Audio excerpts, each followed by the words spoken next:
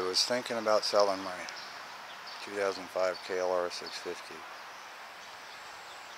But after beginning a write-up, looking it over, everything I've done with it and to it in the last year,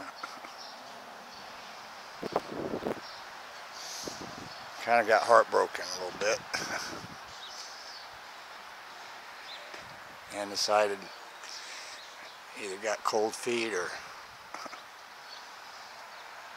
just not going to do it. I'm going to hang on to it. I was looking for something a little bit smaller and lighter that I could handle in more technical areas. I've got it lowered to my heights. I've got it built and set up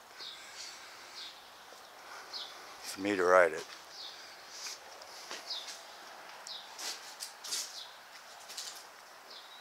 So I'm just going to hang on to it.